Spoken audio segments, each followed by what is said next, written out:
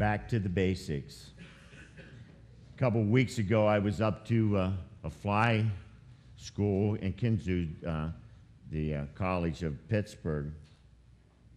And uh, one day I wanted to take and hone my fishing skills. I like to fish, if anybody don't know that. I, I like to fish, I like to catch fish.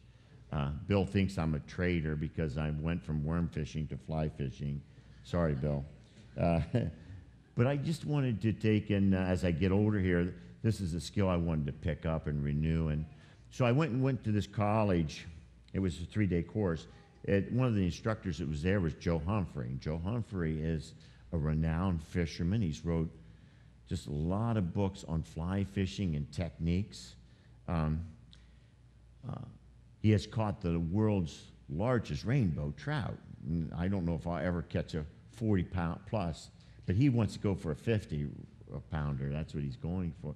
But, anyways, what the first time we went out and we met there and we went to a, a seminar in, in the morning, then we took us out onto a, a field. We walked out into uh, a park park and there's lots of trees and trees aren't good for fishermen you know so but what he wanted to do is take and learn his techniques he said the first thing i want you to do is forget about everything you've ever been taught about fly fishing and casting he says no more that that 12 to 10 12 to 10 it's all uh, 2 to 12 2 to 12 2 to 12 so and one thing I'm really good at, and that is tying knots in my line when I'm fly fishing. And if anybody's fly fishing, that's easy because I try to do something that I shouldn't be doing. So he said, basics, uh, 2 to 12, 2 to 12. Tip of your hat to 2. But he said, don't use your arm. I was always taught, uh, Pick up the phone, hang up the phone. Pick up the phone, hang up the phone. That's the way, that's the way I was taught, you know. Uh, but he said, no, what you do is he, don't use that arm. Keep it in front of you, keep everything tight. But he said, just take your hand and start squeezing like this. Your thumb up, your thumb up, but just squeeze your hand. What that does, it shocks your line. It just brings it up. You just bring it a little bit and squeeze it, and it's just enough, and it shocks your line, and it sends that line way out. And, and don't go back to that number one. Don't go back to one on your clock because you'll tie a knot. So that's the basics that, you know, he kept going. He said, go back, keep going back. Learn them basics and you'll catch fish. Learn them basics and you'll become a better fisherman. Uh, one of the other guys that was there was the coach that taught at Bradford, uh, Bradford High School. He was the most winningest coach, had the longest winning record as any, any coach in all football. So uh, it might be any sport. But, anyways, what he said year after year after year, what he did, he took all his players, got all these young kids, but he just taught them the basics. He said, learn these basics and you'll become a good football player. So that's what he taught. A lot of his players went on to play in the NFL. And I was, wow, you know, this small school, this small Bradford uh, the town of Bradford, you know, has all these here players that play in the NFL because they learned the basics and they perfected them. So that's kind of where I'm leading here with our, uh, with our walk with Christ. Getting back to basics, getting back to basics. I got tangled up here. Uh, it's, it's important for us. When I first uh, seen Scott up here, when he first got this, I'm looking up there and I seen this little dot there, and I thought, does he have an earring? You know, but I don't have an earring. Uh, so that was uh, what I thought, though. But, anyways, getting back to basics, I put in, in notes in your, um, or I didn't, but I had uh, the pastor's wife do it there. And hard for me to get words here out right now. But, anyways, so take notes. Take notes. These are five verses. Five key verses. My granddaughter, when she turned 12 years old, and I'm going to do it with all my grandchildren, I got, I got her a Bible. And in that Bible, I wrote on the back page, on the, these verses on the back page, and I put on there, I said, Maddie, these are the keys to be successful in your Christian walk. Read it often. I think that's important for us to keep going back to the basics.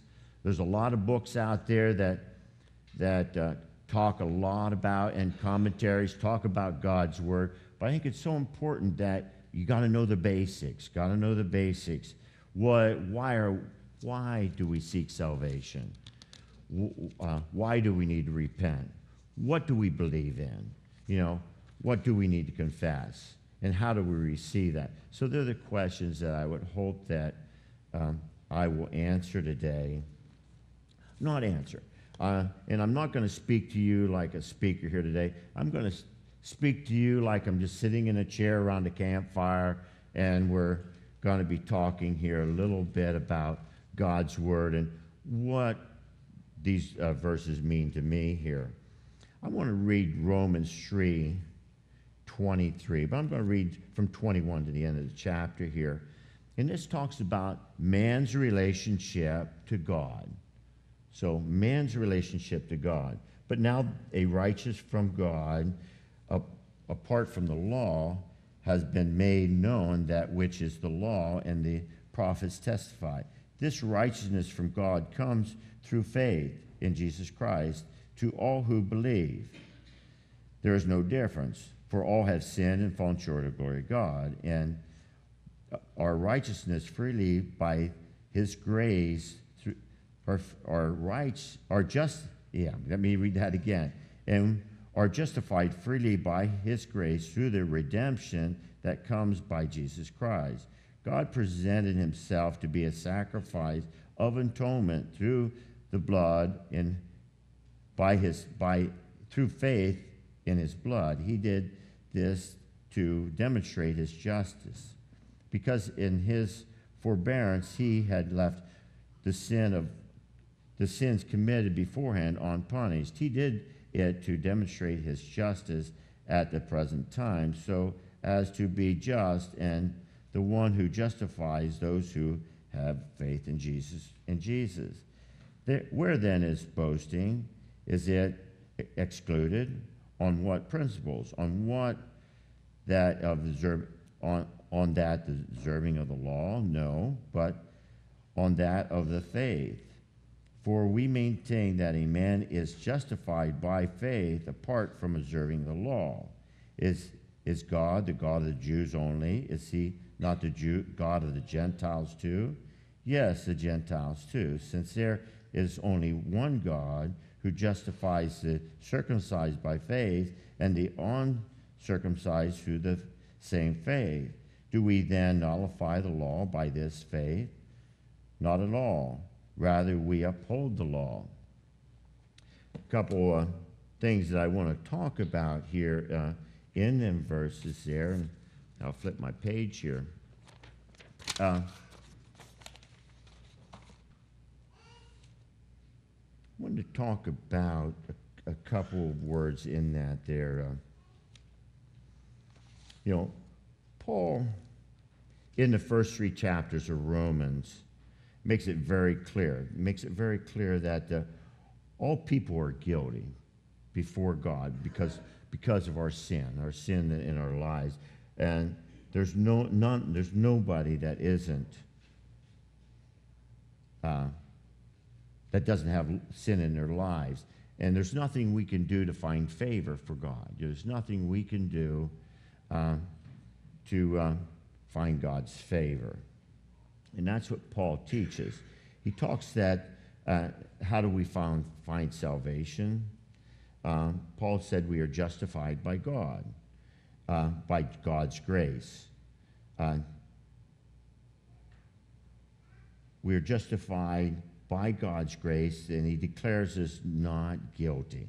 And, and, and that's a word that, uh, as we look at that, and um, when, when I think of that word, not guilty, you know, Jesus Christ paid the ransom for our sin. And um, when I think of not guilty or, or the ransom been, been paid, uh, um, I went through a bankruptcy uh, court one time, and it wasn't a pleasant time, and it was it was terrible uh, time in my life. But when the, when the judge said, You are pardoned, that, that made me understand what Jesus Christ did for me. was when I was pardoned, and then now I now I know what God meant by He said, "Your sins are pardoned." Um, so that's the justification that that God has done for us. Uh, does that mean that God overlooks sin? No, it doesn't. It doesn't mean that. There still has to be a demandment for the payment that, because we know that the penalty of sin is death. So um, that penalty is paid by the blood of Jesus Christ by dying on the cross. Um, we go on to talk about, you know, what do, what do we need to do to, to become a Christian then, or, or to accept this here free freedom of gift, this gift that God gives us, is that uh, we need to believe in Jesus Christ. You know, we need to believe. And so, what does that believe? I think Scott talked a little bit about that last week, believing in Jesus Christ. What do we believe in? We believe that Jesus Christ is the Son of God, and we know that.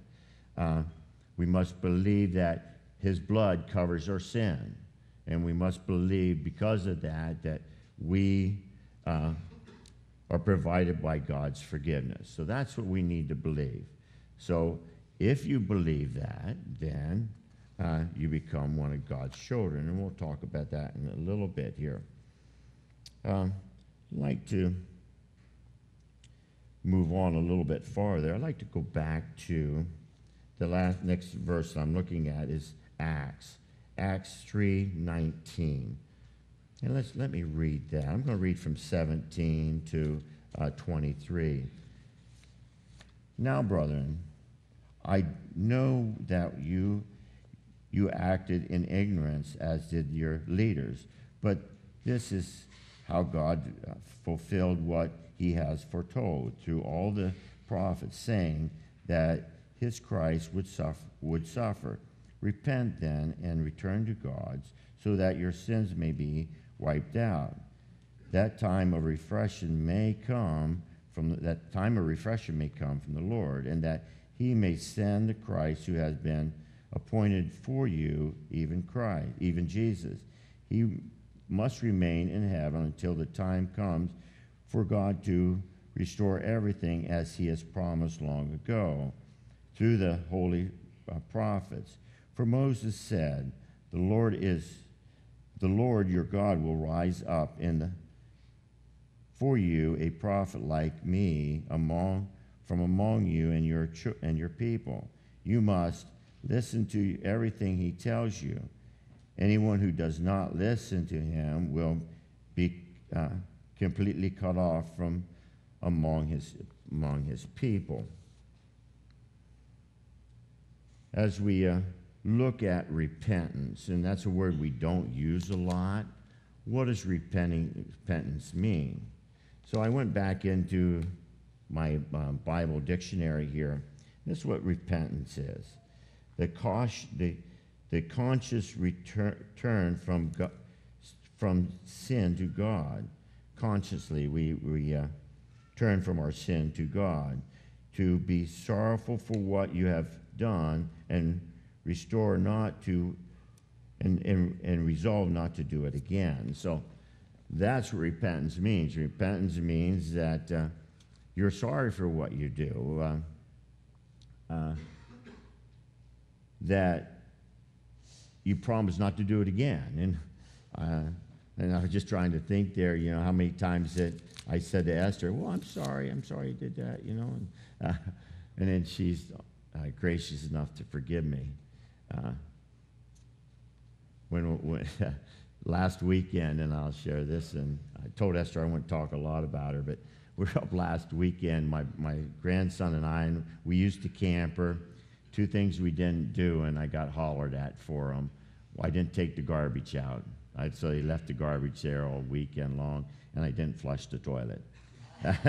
so so uh, I, I had to ask for forgiveness, and she did forgive me. She, I still got the look, though, didn't I, hon? I still got the look. But, you know, sin is more serious than that. You know, uh, I, I asked for Esther for forgiveness of that, and uh, I, know I knew she would. And, but Jesus also will forgive us our sins. But we need to ask. I think today we don't talk about repentance very much. Um, it's not mentioned. But we need to approach God and ask for forgiveness of the wrong that we have done. We can't just assume that God's going to forgive. We need to ask. We need to ask God, saying, Lord, I am sorry that I done this. Um, and we need to do it from the heart. We need to do it from the heart. Um, and then, you know, Paul talks a lot about that in Romans here. He says, I know what I shouldn't do, but I still do it. But I don't want to do it, but I still do it. And that's what we get within our lives with, with sin. You know, we need to seek God and, and ask Jesus Christ for, and He is faithful to forgive us. But we need this, this walk that we walk with Christ needs to be continually. Uh, like grazing your children. How many times have you uh, said to your children, now don't do that? Oh, I won't do that, Dad. I won't do that. But next week it uh, happens again, you know. And, but, and that's the way it is within our lives with Christ. Christ understands that. But we still need to be seeking Him for, for forgiveness, and we still need to repent. Um, let me go to uh, John uh, 6 40. And there again, I'm going to read from uh, 35 down to 40. And this talks about the belief that we have in Jesus Christ. Then Jesus declared, I am the bread of life. He who comes to me will never go hungry, and he who believes in me will never be thirsty. But I but as I told you, you have seen me, but you still do not believe. All that the Father gives me, I will come, will come to me, and whoever comes to me will never drive away. For I have come down from heaven not to do my will, but to do the will of the Father who sent me. And this is the will of him who sent me, that I should lose none of those that he has given me, but I, I raise them up in the last days. For my Father's will is that everyone who looks to the Son and believes in him shall have eternal life, and I will rise him up in the last days.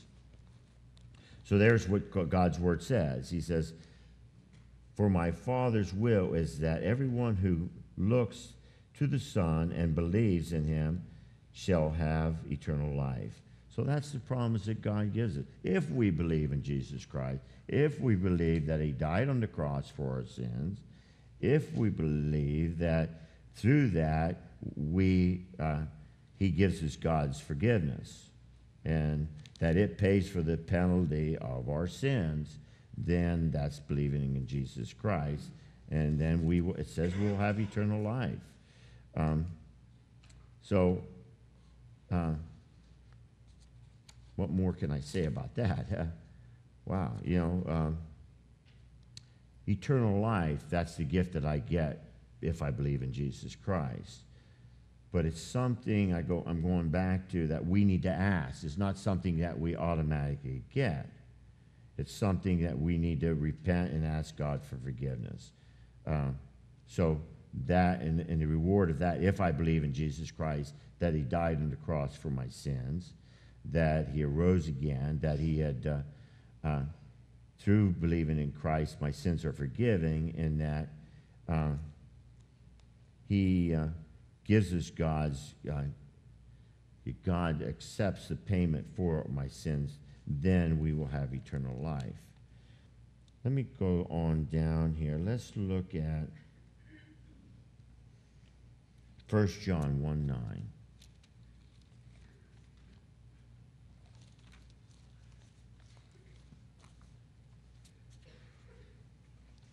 And this talks about confession.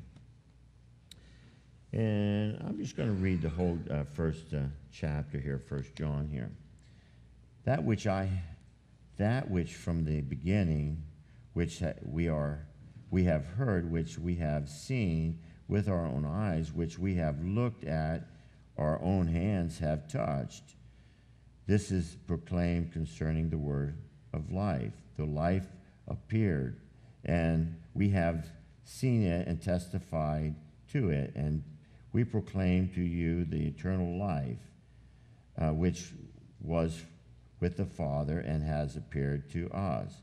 We proclaim to you what we have seen and heard, so that you also may have fellowship with us. And our fellowship is with the Father and with his Son, Jesus Christ. We write this to make our joy complete. Um, this is the message we have heard from him and declared to you God is light.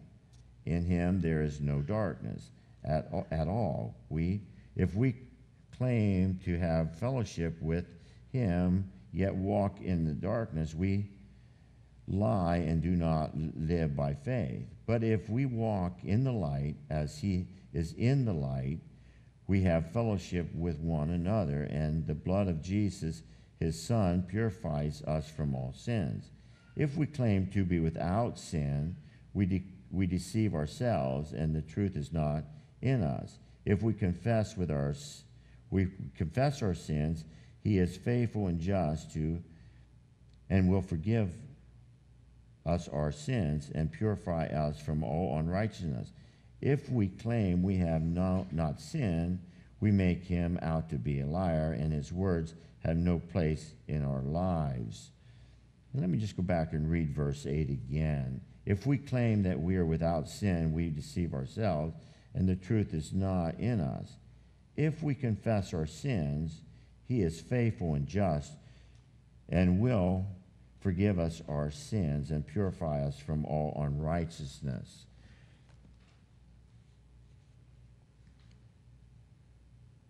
Believing in Christ, uh, and I'm, let me jump down. Confession, con- confessing.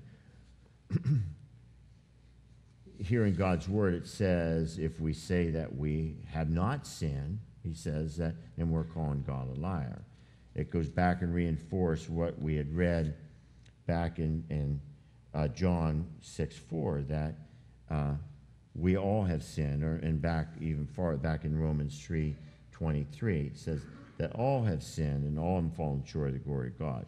So what do, must we do? We must ask for forgiveness. We must confess our sin, saying that I am a sinner and I am fallen short of God, glory of God here. Um,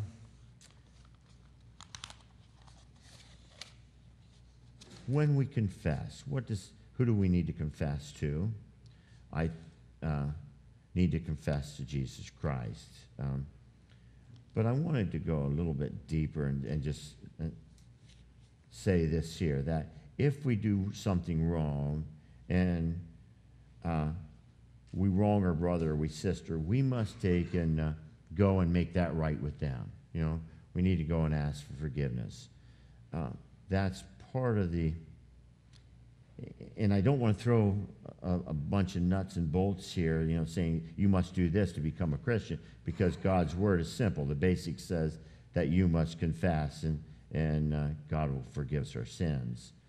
Uh, but the Pharisees, they wanted to take and put a lot of rules on things, and, and I, I don't want to do that here, you know. Um, I just want to say, let's stick to the basics. Let's stick to the basics.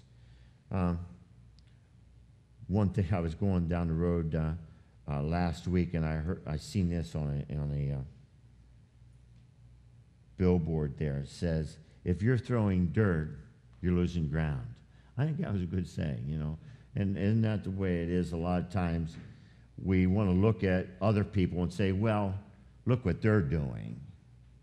If they're doing that, they can't be a Christian.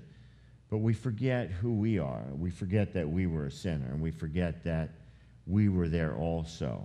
And we still may be there if we haven't seek for God's forgiveness. So, so it's very important that we make this a personal thing. It's not something I can ask for Esther or Esther can't ask forgiveness for me. I must seek that myself.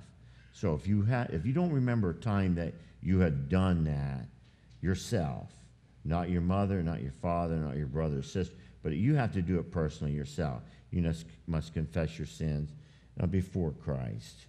Um, but the reward of that is eternal life. Let, us go to John 1.12. That's where I was, Dan. I'm going to go back to John. Yeah, John 1.12 is where I want to go.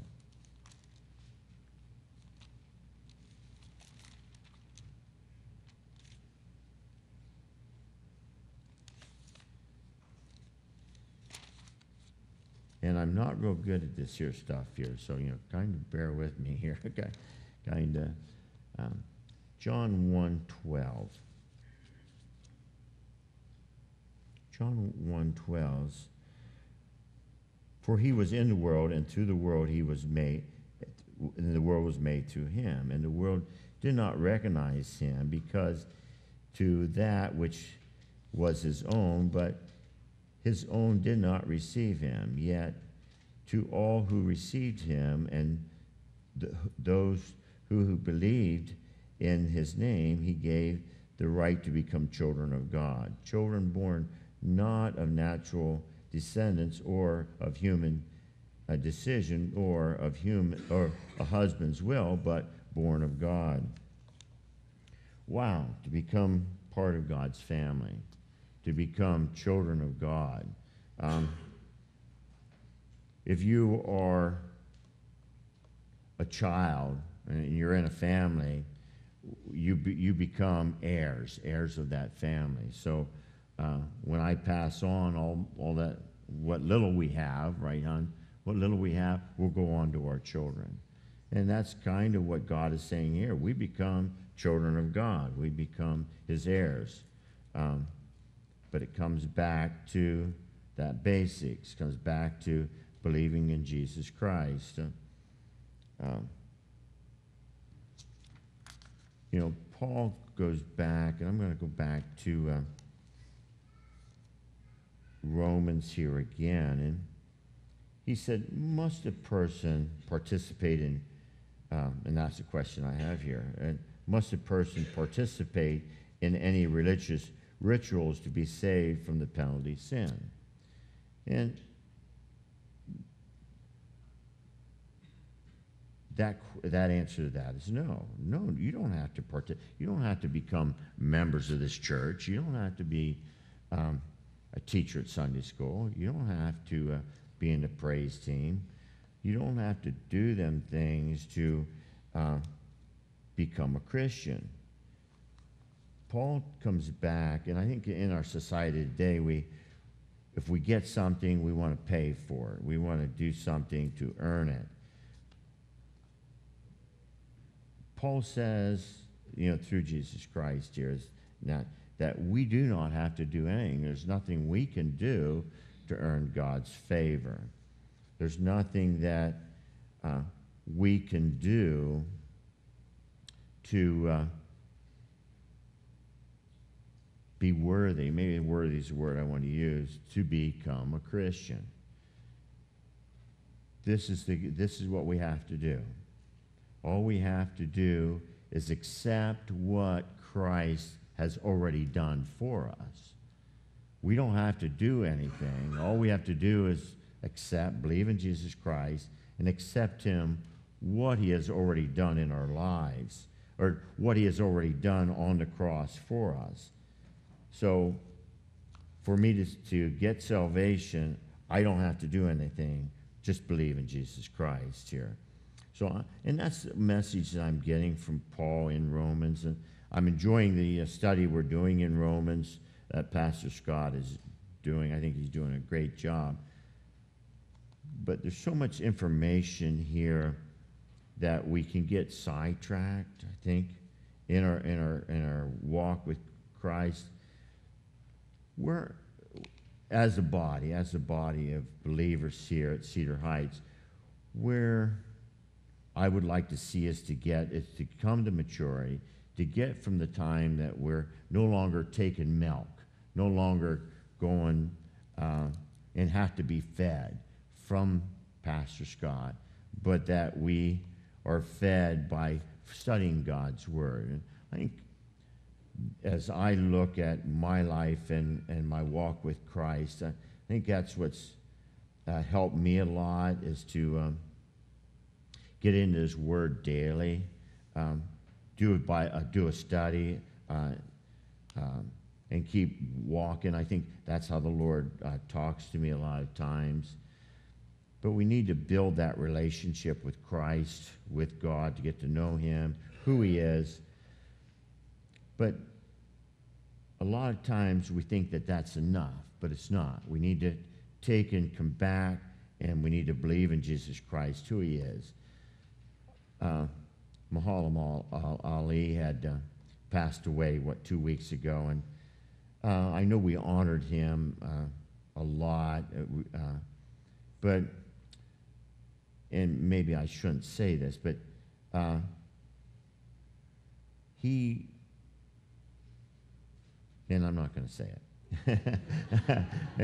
I'm not going to say it. You know, it's, it's, um, it's important that we keep, take care of ourselves. And that's all I'm going to say. It's important that we make sure we walk our life, that we stay our, our, our track, stay on track. Uh, I want, and I'm getting back to where I want us to be. I don't want us to be wishy-washy. I want us to be solid in what we believe. Know what you believe. There's a, a country song that says, "Don't change, don't switch your saddle. Don't, don't give up, don't sell your saddle." You know, that's the way it is with our Christian life. Don't sell who you are. You know, know God's word, know what you believe in, become solid in that. And that brings us from that childhood, um, being a child, uh, to maturity. Let's get to where we're more mature in here. And how we do that is getting into God's word. He said, I had prayed earlier that, you know, God wants us to take everything to Him in prayer. He wants as we're walking and and I was uh, talking with Chelsea there earlier after praise team practice there. Uh, I said to her, I said, I'm I'm proud of the woman that you have come, become. And I'm hoping that we as a church has brought these young people, and I think of Evan, you know, and, and I think of a number of other uh, ones uh, that have are graduating from high school and moving on that we have given them the tools to become successful. And what I want to say to you is stay with the basics, stay with what you believe. Don't side go sideways. Don't let Satan pull you away and say, "Oh, God surely didn't mean that." You know, surely God didn't mean that. Uh, one night won't be bad, you know, one drink won't be bad, one, but st- stay firm. Do your, make your boundaries. Stay, go, keep back to the basics. So that's what the Holy Spirit has laid upon my heart today to, to bring to you. And please, you know, uh, take these notes. Write, write these verses in your Bible there. And I know that Maddie uh, come to me about a year ago, and she says, Pat, what are you going to do with your Bible when you're done, when you, when you pass away? and I says, this Bible is yours, Maddie. And so what, and Ernie did, is doing that also. Is, and make notes, make notes in your Bible. Underline important things so that you can pass it on. And that's the way to pass on your belief. I think in our world today, we're letting uh, society pull us away from God. We're letting, the, we're letting society creep into the church. Let's get back to the basics. Let's get back to uh, what we believe in. Don't get pulled away by the world. Okay. Can I like the praise team to come? Well, let me pray here as praise team come forward. Dear Heavenly Father, we just come before you for you are an awesome God. Thank you for paying for the penalty of our sins there, dear Heavenly Father. For we know that God demands payment, and through your Son, through His Son Jesus Christ, He has made that payment through the sacrifice that He made on the cross, there, dear Lord. Help us to become steadfast into your word. Help us to be steadfast in our lives with you there, dear Heavenly Father. Help us not to be wayward, but help us to uh, stick fast to what we believe. Help us not to have the wind blow us like chaff. And whatever whims comes along and we jump on the wagon, help us to stay on the wagon with you there, dear Heavenly Father. And I ask this in Christ's name, amen.